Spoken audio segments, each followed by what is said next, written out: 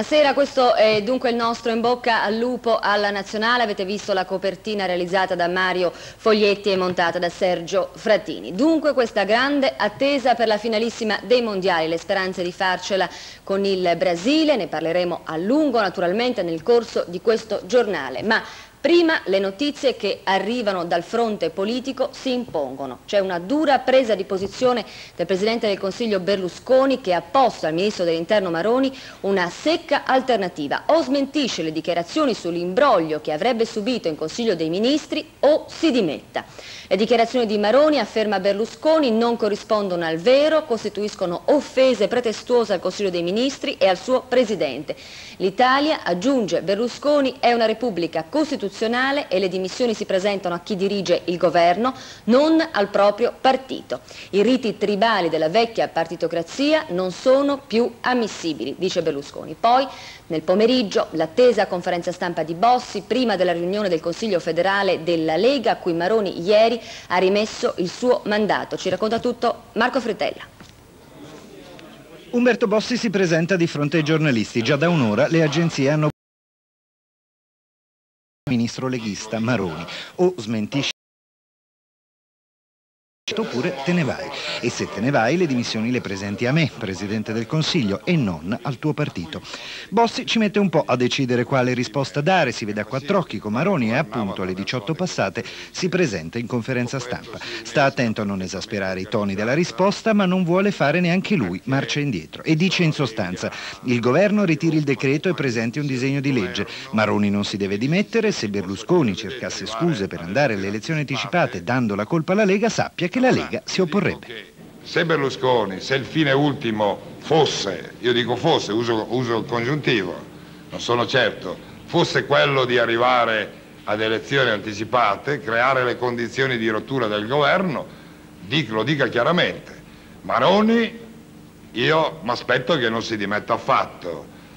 E beh, Berlusconi eventualmente se vuole dimettersi lo faccia lui, lo farà lui in aula. Se proprio vuole andare ad elezioni anticipate Vuol dire che in aula, allorché non passa questo decreto, allorché gli verrà chiesto di sostituirlo con un disegno di legge su cui il Parlamento possa esprimersi, vabbè, lì faccia capire se vuole andare ad elezioni, si dimetta, vorrà dire che andremo ad elezioni, il Paese andrà ad elezioni sapendo che il motivo è, su cui si rompe il governo è quello di liberare, quello della liberazione degli uomini di Tangentopoli dalle carceri. Cioè, Mossa e contromossa nel governo e nella maggioranza la fibrillazione è al massimo, tanto più che più d'uno si alza per chiedere una immediata verifica politica. È il caso del ministro Biondi che scrive una lettera a Berlusconi per chiedere un chiarimento politico immediato che deve avvenire, dice, in Consiglio dei Ministri e nei confronti di Scalfaro che ha firmato il decreto.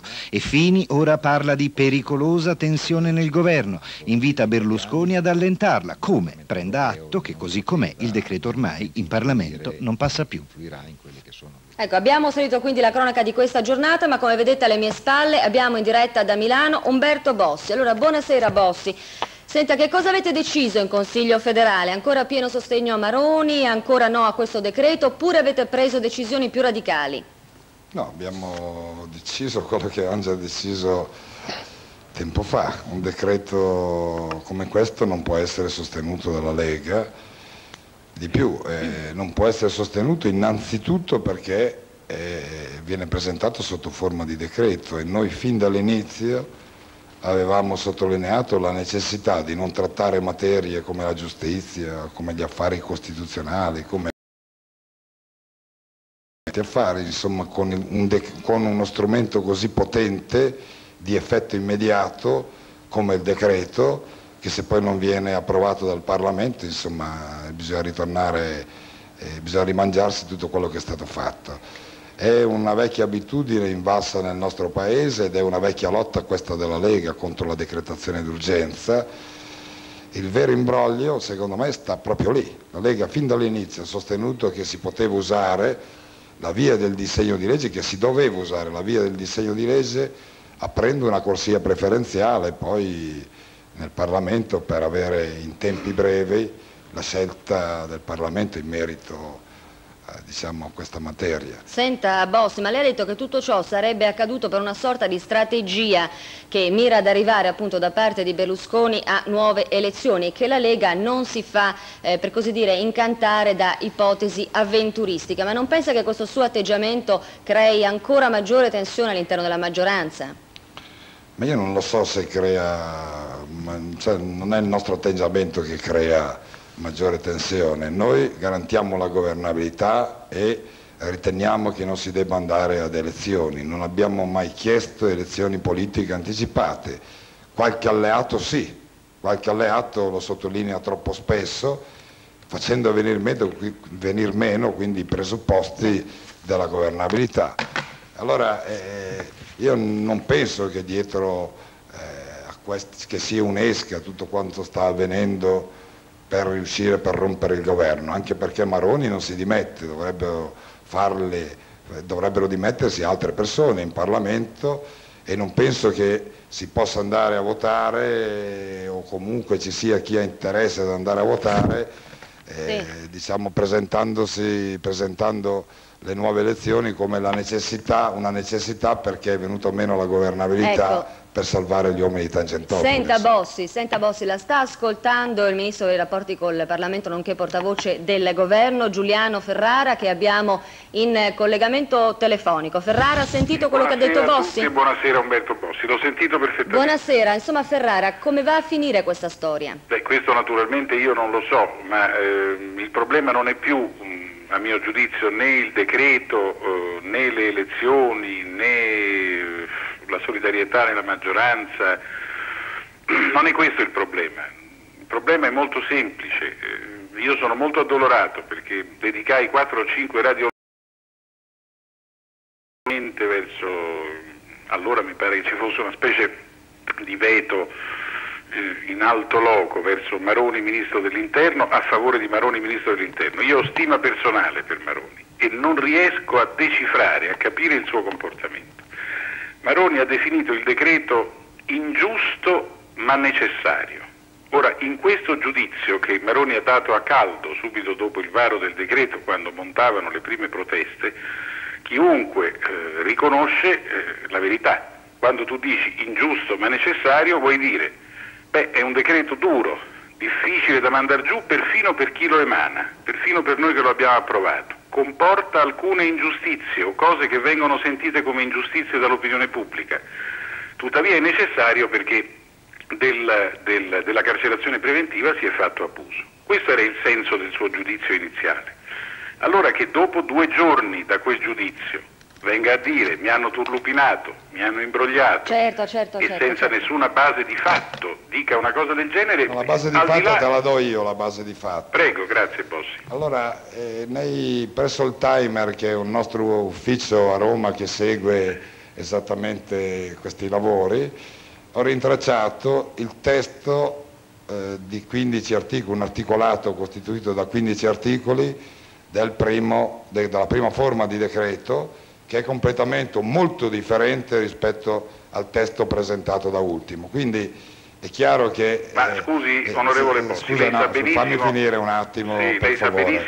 Sì, ma fammi finire un attimo, per favore, i cittadini. Il problema è che sappiamo tutti che in Consiglio dei Ministri, lì sui due piedi uno non può confrontare, verificare se l'articolo tal dei tali coincide col furto, con, con cosa... È chiaro che battendo la via della decretazione d'urgenza in materie così delicate come la giustizia, si pretende che sui due piedi uno dica sì o no, con la conseguenza che abbiamo, abbiamo visto adesso, con la conseguenza che il giorno dopo va a verificare tutti gli articoli e scopre che è un'altra cosa o comunque è più ampio di quanto non gli fosse dato pensare. Onorevole Bossi, se ha detto ingiusto ma necessario, vuol dire che eh, il testo del, dell'articolato sì. di legge Maroni lo aveva letto e anche ben digerito. Ma secondo me no, secondo, eh, scusa, io ho comunque, chiesto a Maroni... Comunque io voglio dire una cosa. Va bene Ferrara, può... ma... No, no, scusi, è una cosa più semplice. Mi scusi Ferrara, dire... ma io le volevo chiedere questo, al di là delle analisi... una cosa brevissima. In questo momento... Mi domando cosa intende fare il ministro Maroni, perché se io dico che eh, lavoro con degli imbroglioni e che nel governo di cui faccio parte ci sono degli imbroglioni, dopo averlo detto mi dimetto.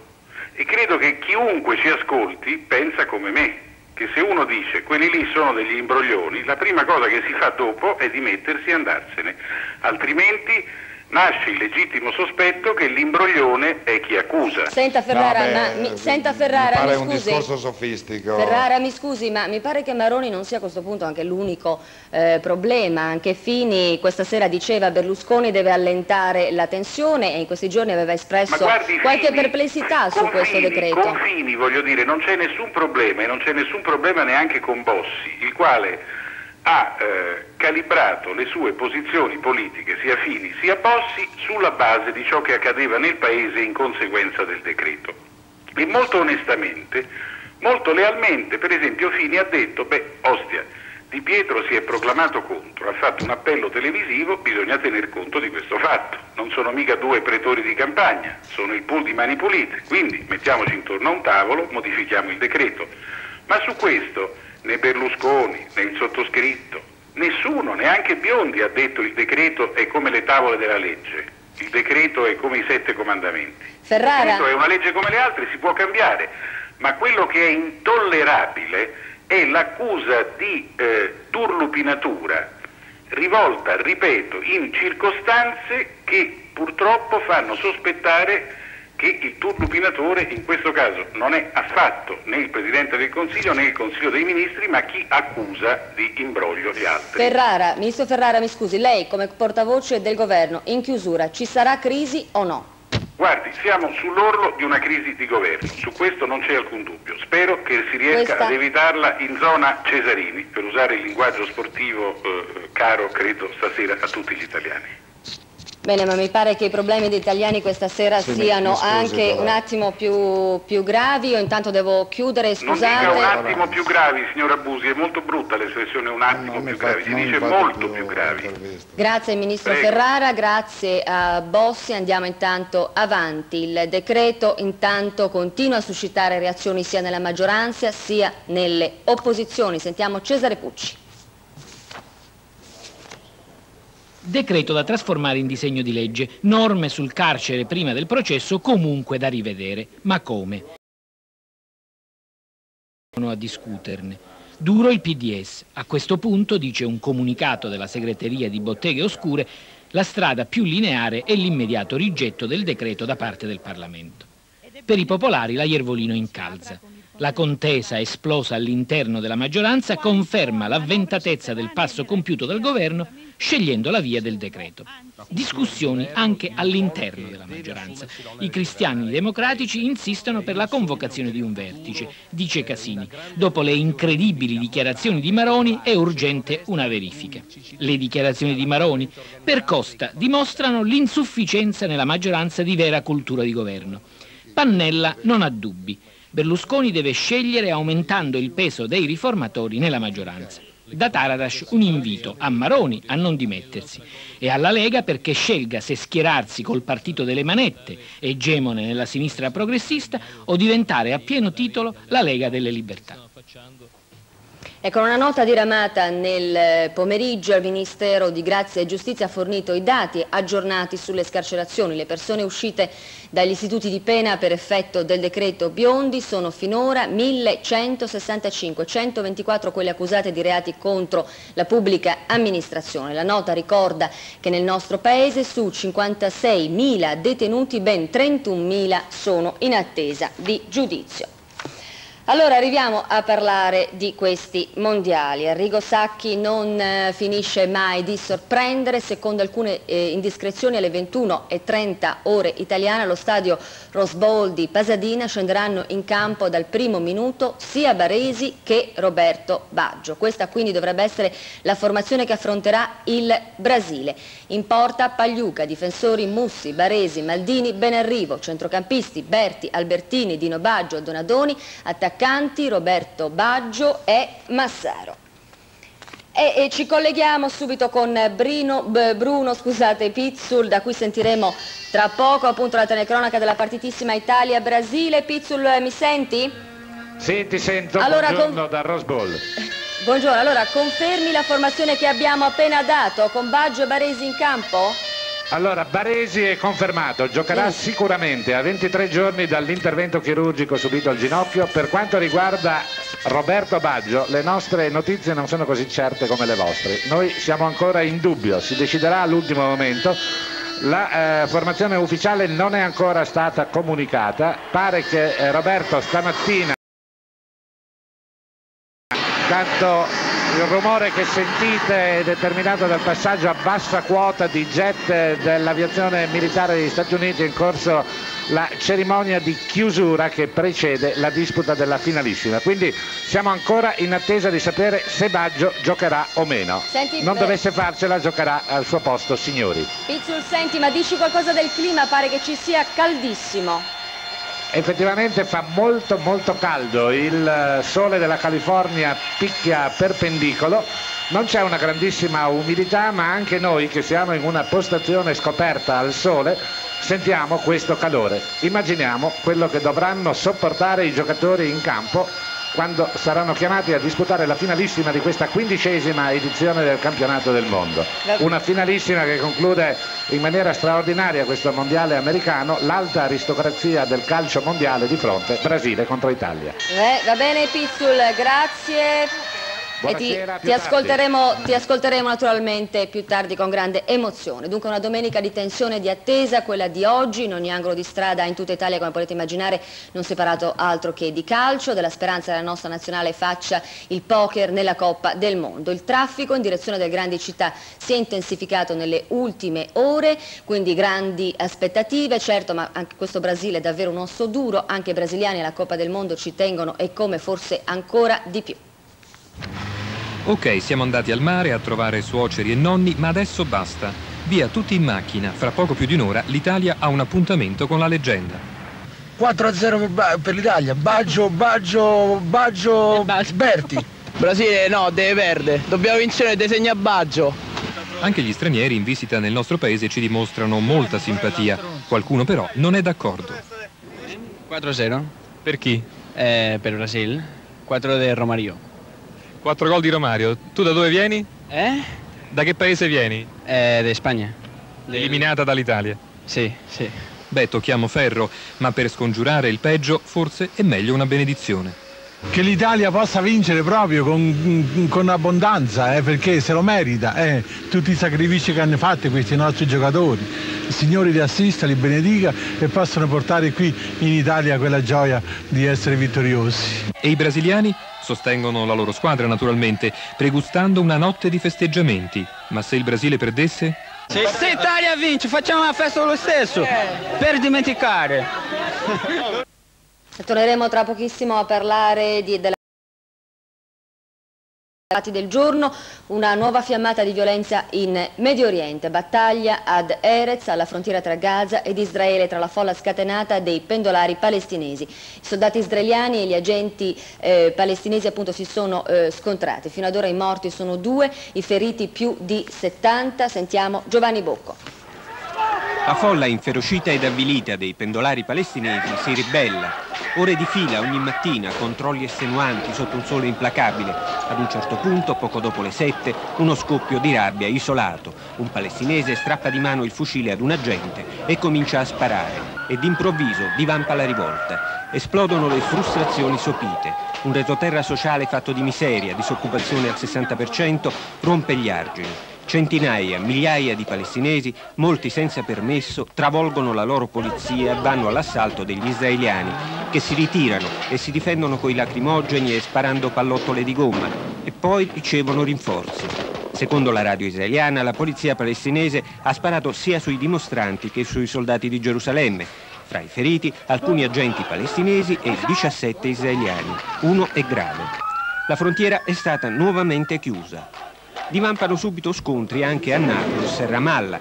L'impennata della violenza avviene alla vigilia di una nuova missione in Medio Oriente del segretario di Stato americano Christopher e dell'avvio delle trattative dirette tra Giordania ed Israele domani in una località sulla sponda giordana del Mar Morto, prima dell'incontro tra Re Hussein e il premier Rabin il 25 prossimo a Washington.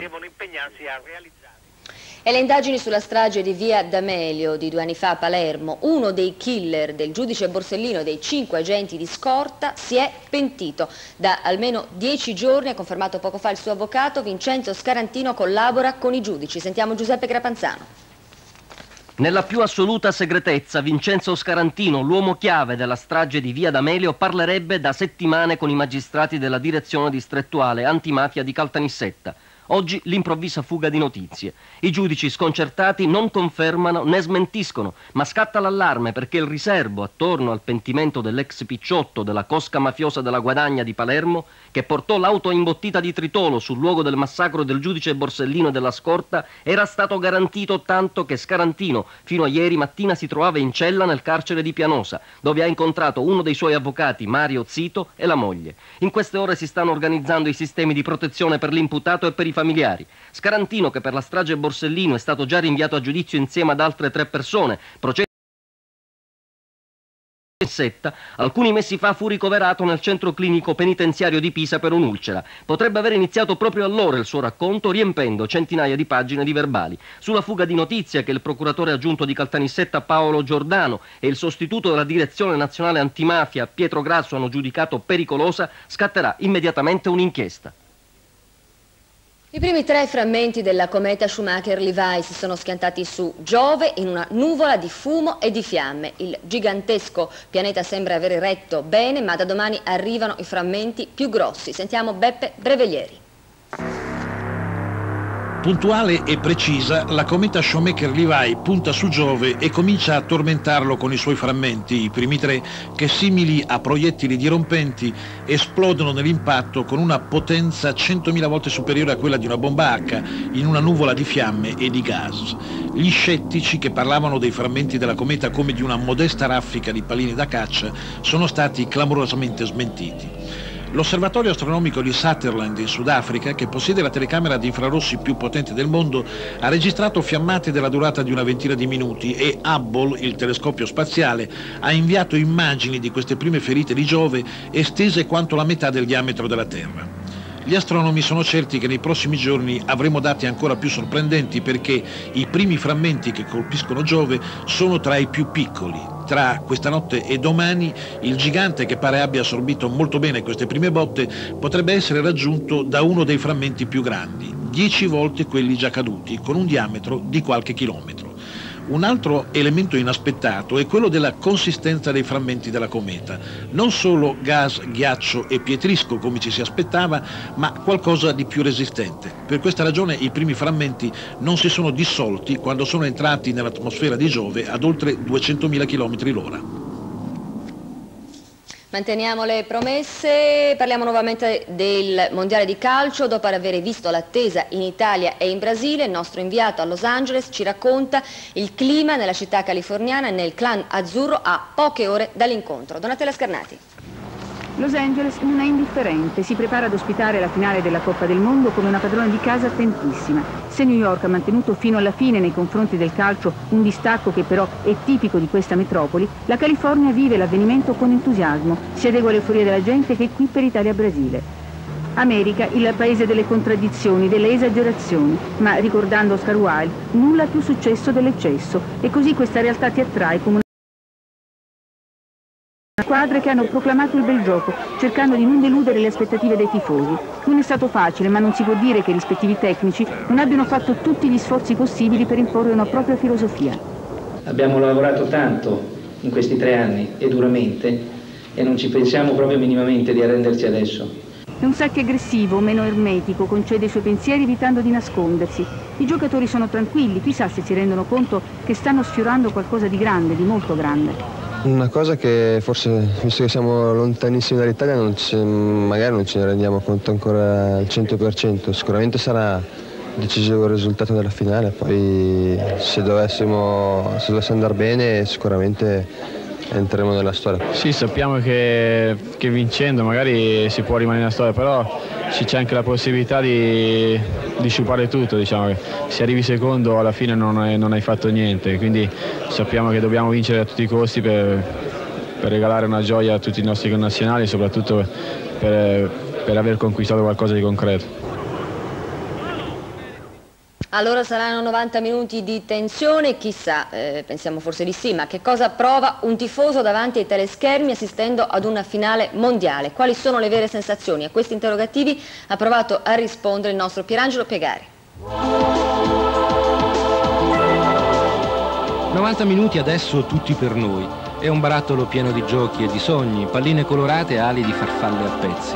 90 minuti come una tavola imbandita su stoffa a quadretti bianco e blu. C'è un piatto di spaghetti, la filosofia dell'essere, una bandiera che aspetta il vento, un corno rosso. 90 minuti finalmente insieme per correre verso una sola stella, la stessa, nel cielo di questa vita che confonde le luci e spegne l'amore.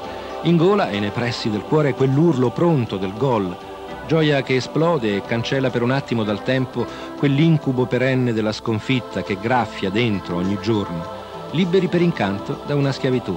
90 minuti col pressing nel cuore, è gioia, non felicità. Questa è bella, impossibile, troppo nobile per costare un gol. Ma va bene lo stesso. Bianco, rosso e verde e poi azzurro. Diversi ma uniti nel segno di una vittoria per tutti, finalmente sotto una sola bandiera.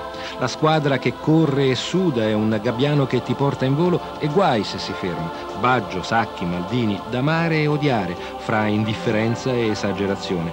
Cattivi con la sconfitta, troppo buoni per un gol.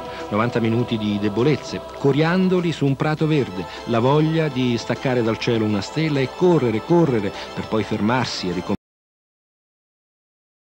Una vittoria, una coppa, uno sfizio, una paura dimenticata, ma anche solo un bacio mai dato grazie a quel gol.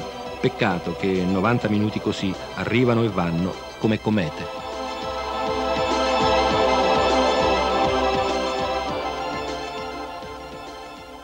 E ci colleghiamo con Serata Mondiale, Alba Parietti, Valeria Marini, Fabrizio Maffei. Allora siete pronti? Siete emozionati? Buonasera. Siamo eh. caldi. Beh, e tu scusa no, perché sei italiana, terrai certo. per l'Italia, immagino. Certamente. Beh, come credo 30, 40, non so quanti italiani staranno davanti al video questa sera, ma credo che ne terrai impegnati parecchi, anche perché come tu ben ricordi sono 12 anni, se non sbaglio, che non ci capita un'occasione del genere. Quindi ci auguriamo tutti che l'Italia porti a casa questo risultato. Comunque tu sai che noi dopo, tu lo sai benissimo, anzi sei anche invitata se vuoi, dopo la partita ci sarà comunque una festa perché in ogni modo vadano le cose eh, sarà sempre un posto d'eccezione quello che ci stiamo guadagnando. E l'abbiamo preparata bene questa festa, eh? qui non so se è possibile già far vedere, no, è una sorpresa, è una sorpresa. Insomma, ci stiamo allestendo come avviene in pratica in ogni famiglia italiana, no?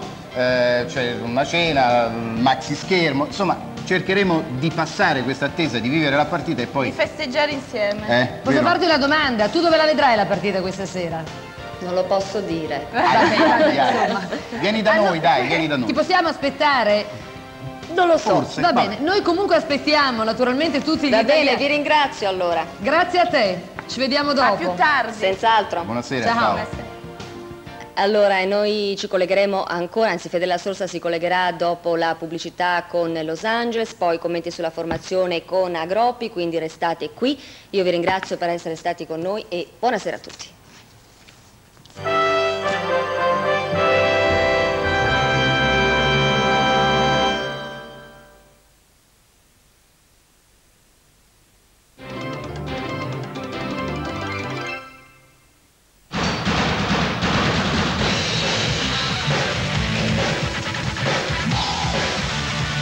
Gatorade. La differenza tra bere e dissetarsi. Gatorade.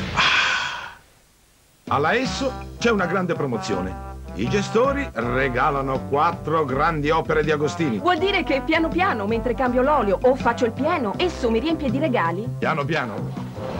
Pieno pieno. There are smiles all around.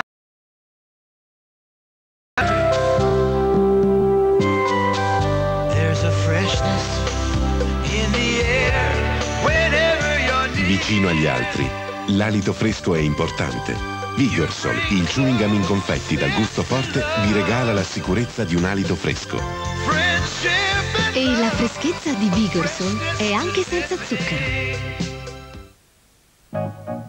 Se hai voglia di natura, se hai voglia di vita sana, quando hai sete, scegli Estate.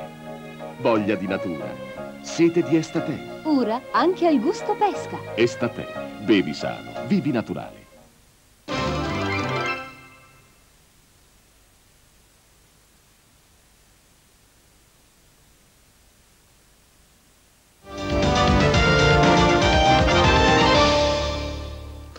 Buonasera, tra poco meno di un'ora la grande sfida, le televisioni di tutto il mondo saranno collegate con lo stadio Rose Bowl di Los Angeles, sono previsti circa 2 miliardi di spettatori in questo momento, è in corso la cerimonia di chiusura di questi campionati, allora ci possiamo collegare immediatamente con Bruno Pizzul per sapere quali sono le ultime novità, le sappiamo già, ma comunque Sacchi ci ha voluto stupire, stupire ancora una volta, Bruno. Sì, in effetti pare che oltre a Baresi, che rientra dopo il noto intervento subito al ginocchio, eh, sia della partita anche Roberto Baggio. Però io userei tuttora la formula dubitativa perché a noi qui in postazione non sono ancora arrivate le formazioni ufficiali. Ci vorrà ancora mezz'ora. Ci vorrà ancora mezz'ora, sì. Eh, Il termine ultimo per la presentazione all'arbitro è di un'ora prima del fischio d'inizio, poi ci saranno naturalmente i tempi tecnici per eh, stilare la formazione e distribuirla. Io penso che tra una decina di minuti, non prima, sapremo se davvero anche Roberto Baggio, oltre a Franco Baresi, sarà in campo. Qui intanto credo che lo vediate sui vostri teleschermi, Certo. è in pieno svolgimento la cerimonia conclusiva. È una cerimonia fatta con eh, un certo impegno da parte degli americani, non è una cerimonia tradizionale perché nelle precedenti edizioni dei campionati del mondo non c'era stato nulla di simile. Comunque gli americani vogliono concludere festosamente questa quindicesima Bene. edizione dei mondiali che è stata confortata dalla presenza di uno straordinario pubblico. Sì, e naturalmente cresce l'emozione, l'ansia e l'attesa per questa finalissima tra Brasile e Italia. Bene, ti ringrazio e noi ci colleghiamo adesso con Aldo Agroppi dal Piombino. Agroppi, ancora una volta Sacchi ci ha voluto stupire. Secondo te probabilmente poi eh, ci sarà anche qualche eh, problema? Mario sarà in campo oppure no?